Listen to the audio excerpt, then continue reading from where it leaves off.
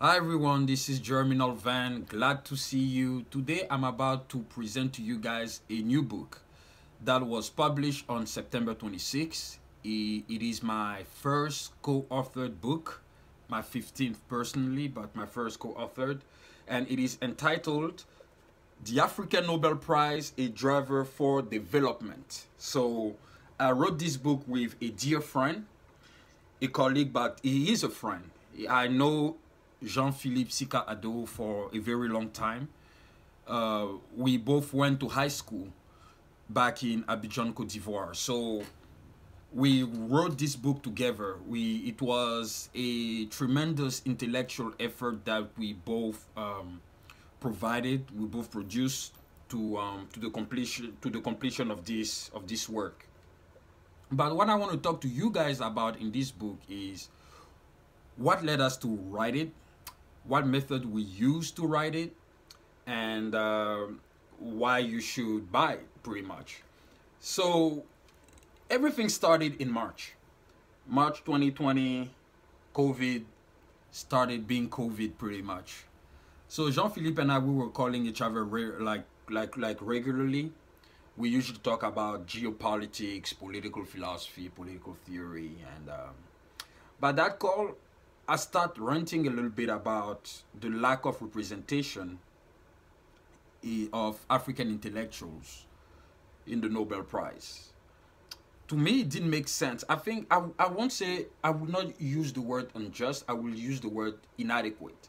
I found it inadequate that there were there is almost no African scientist or intellectual who has won the Nobel Prize, at least in the scientific categories. Of course, there have been many um, uh, Africans who won the Nobel Prize, but the Nobel Prize for Peace. I'm not saying that peace is, is irrelevant. Of course, it is relevant. But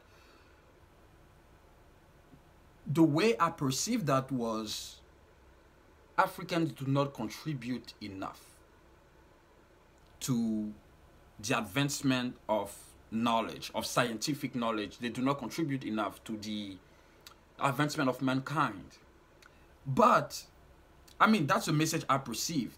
Maybe I perceived it wrong, but that's how I perceived. But to me, it did not make sense. I know that there are plenty of scientists, African scientists and African intellectuals, who have done significant contributions to the advancement of mankind and to the advancement of human knowledge. And yet they, they are not recognized. So I found that really inadequate. So I was complaining to Jean-Philippe about all of that a little bit. And then Jean-Philippe was like, why don't we write a book about it? I was like, that's a great idea. And plus, it would be awesome to work with someone, something I've never done before. So we didn't plan that. It, it was spontaneous, but we carefully planned the structure of the book. Jean-Philippe uh, basically focus on the logical reasoning and the legal approach of our analysis and I focus more on the scientific, mathematical, statistical approach of the book.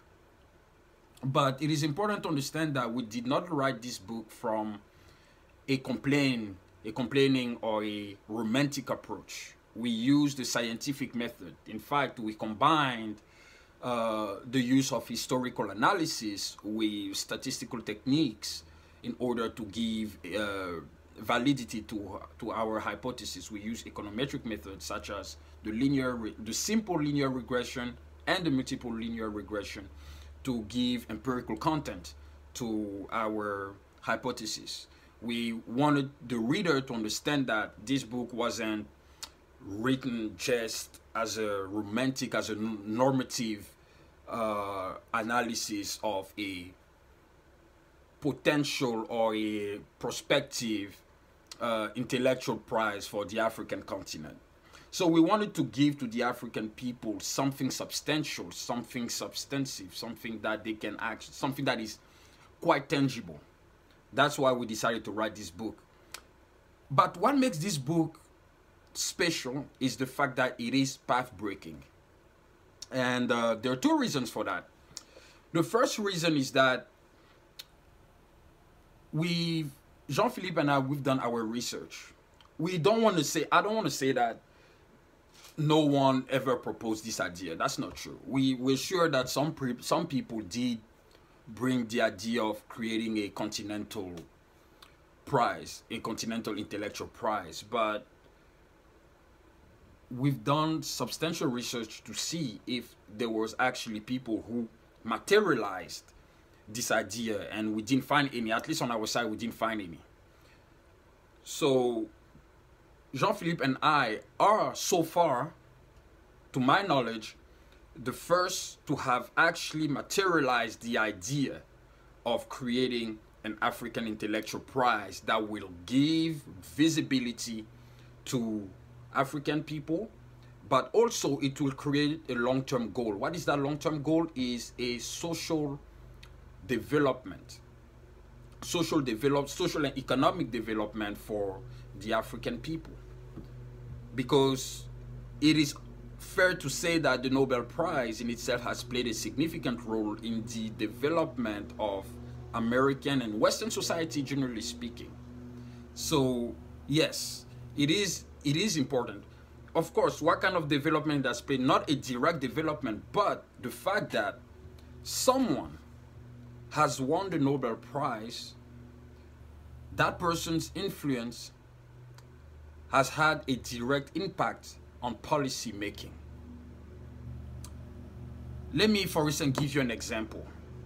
Uh, let me give you the example of Ivan Pavlov. Ivan Pavlov was a Russian um, physiologist who developed the method of the classical condition.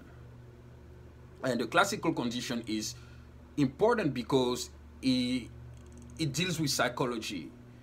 It enables us to predict how people will react to certain images or to um, to a certain action. It, it creates it creates a stimulus into people. So we use that we use the Pavlovian theory in medicine, in the medical field generally speaking, but also in economics. Economists use that to determine consumer behavior with advertising.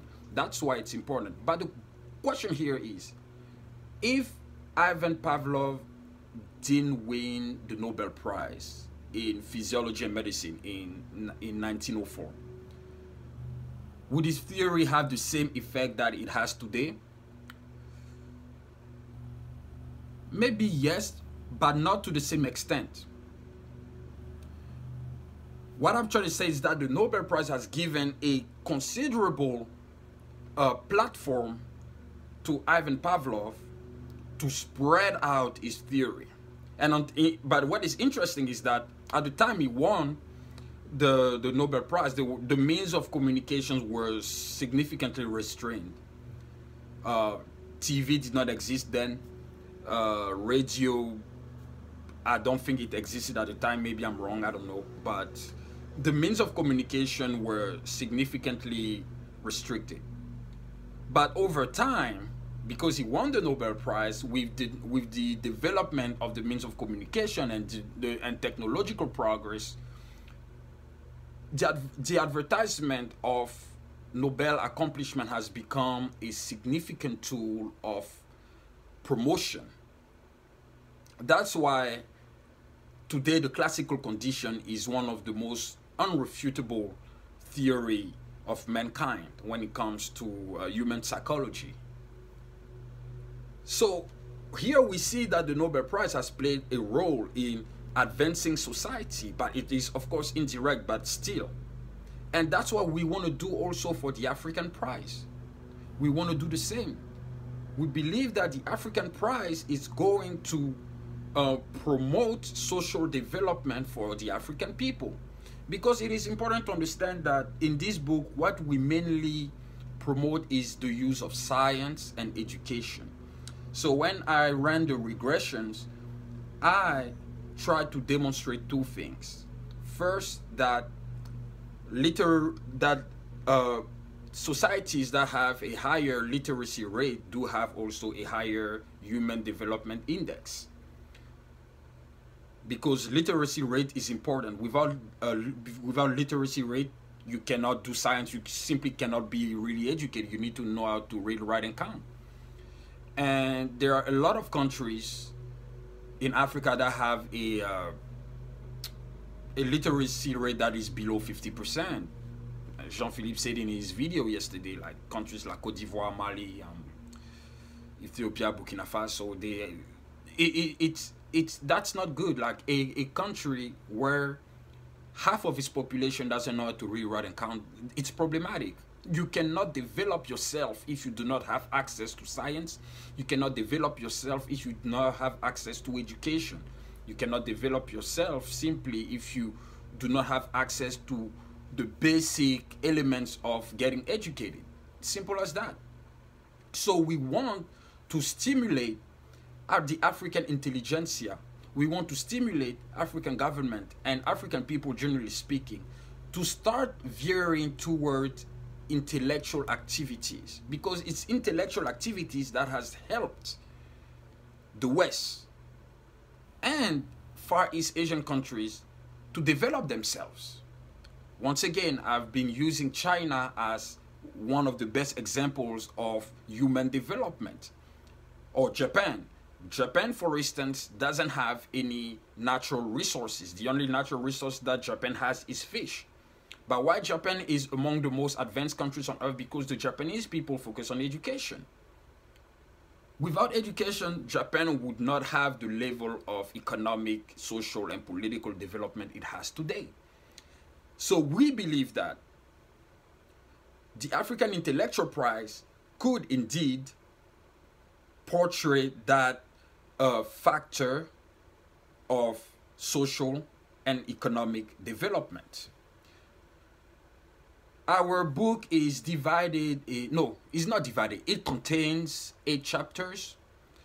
The it, it contains eight chapters and it is divided indeed in three parts uh, the two first parts of the book deals more with the history of the Nobel Prize itself, why the Nobel Prize is so significant, and Jean-Philippe and I made a critical analysis of the Nobel Prize, saying why the Nobel Prize is unique. But the criti- the criticism we gave it's a uh, it's it's a critical analysis. We understood why it is significant but also we expressed the flaws that this prize contains especially when it comes to the nobel prize of economics to um, award someone and saying that he's the best economist suggests that he has a uh, superior intelligence to his to his fellow economists. And I feel like economics, like Hayek said, you cannot bestow someone and saying that he knows more than anybody else because to win the Nobel Prize, it's it's a huge responsibility. Once you win that, you your your life is no longer the same. People view you as like the god of your field, although to me, a Nobel laureate is no more intelligent than his peers. In fact, it is, it is his peers that selected him, that at least proposed him or nominated him for the prize. So it is important that to understand that a prize like the Nobel Prize uh, has its flaws, and that's what we explain in the book and we talk about the impact of the Nobel Prize. And the, and the third part of the book, we now explain why we need an African intellectual prize uh, for the African continent, pretty much. And uh, we explain that our prize will contain pretty much nine categories. So the six categories of the Nobel Prize plus three other categories that I will not mention, you will have to find out in the book whether you get the uh, the paperback version or the ebook version. You have to find out in the book. But we want our prize to contain nine categories and we develop a conceptual a conceptual framework in which we structured uh, the prize where it will take place how the nominees will be selected and under what conditions they will be selected and what makes our prize significantly different, this is the only clue I'm giving here, is that instead of simply relying or rewarding professors, we want to give it to professors and independent researchers. Jean Philippe and I believe that this book will have can and will have an impact, but it needs to fall in the right hands. So I want all of you guys to share this video. I want all of you guys to spread the word. I want all of you guys to to talk to your friends or to people you know that are in a position of influence. That there are two guys here who are proposing something bold for the African continent, something that has not been done before. It is important. And once again, I repeat, as I said at the beginning of this video, this book was not written from a normative approach. We wrote this book from a cold, scientific, positive approach to explain why our theory is a feasible and applicable theory. Anybody who reads this can indeed see that we have all the empirical evidence to demonstrate that our theory is not just valid, but it is applicable. I insist on that. So this book, The African Nobel Prize, a driver for development, is groundbreaking, it is promising, and I highly, highly recommend you guys to get your copy on Amazon. It is as paperback and ebook, so you guys can get it. I will post the link uh, below this video so you guys can simply go to Amazon directly and get your copy. But read this book share it, share it with your friend talk to anybody about it we have to spread the word we have to help the continent recognize his people especially the intellectual the african int- intelligentsia has been marginalized it is important that the african intellectuals demonstrate once again their value it is important for african intellectuals to once again bring back the pursuit of knowledge, bring back the pursuit of science, bring back the pursuit of education. This is how we will be able to develop our continent. We cannot develop the African continent without education. It is crystal clear. We cannot develop the continent without science. We need this. And we believe that in this book, the conceptual the conceptual framework of this book can help indeed African people to raise the bar again. It can help African people to focus on education and to focus on intellectual activities, generally speaking. So, this is why Jean Philippe and I we wrote this book because we believe that it is possible and we demonstrate that it is possible. We just need to apply it, we just need people in position of power to apply these hypotheses that we demonstrate. And then time will tell if it is worth it or not. But we believe that it is worth it. Ladies and gentlemen, thank you very much for listening to us. Thank you very much for the support. I want to thank all my followers on Instagram who have supported my work from day one. Thank you guys very much for the support. I am entirely grateful to you all. And uh, please grab your copy on Amazon. Uh, let us know what you think. Write us a review. Give us your feedback and see how we can improve our work and also it creates a debate. So thank you very much, everyone, and may God bless you all.